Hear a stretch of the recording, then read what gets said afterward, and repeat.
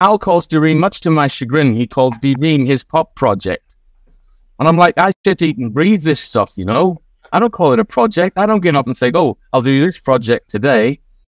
But also, P, I, I think the thing where you just said that thing, it's changed around a lot as well. Like when we did the last album, for example, I, if anything, I'd say I was more of the, I was trying to be more commercial. I'm going to do a bit DIY and then I'll do a bit of pop project. You know, I, I, this is what I do. I just, you know, sling and write and it comes out. Some of it's stupid. And he calls me out and it'd be too stupid. And we kind of agree on the ones that are the least stupid, I suppose. Um, yeah, I think, yeah, commercial. Uh, yeah, I'm not, I'm not the McCartney to his Lennon. Let's put it that way.